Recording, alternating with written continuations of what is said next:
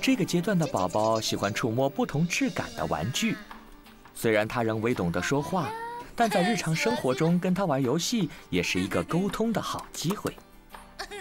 跟宝宝沟通时，最重要是有来有往，不要只有你单方面说，要给宝宝回应的机会。首先要跟宝宝面对面，让他看着你。你可以用夸张的表情和较高的语调逗他。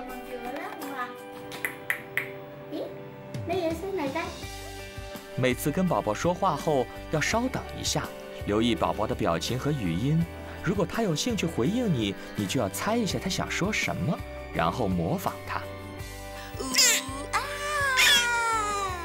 当宝宝表现烦躁，你就要转换另一个位置，让他休息一下。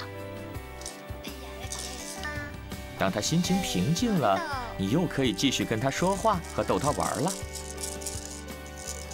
这样连续的逗宝宝玩，直到他没有兴趣为止。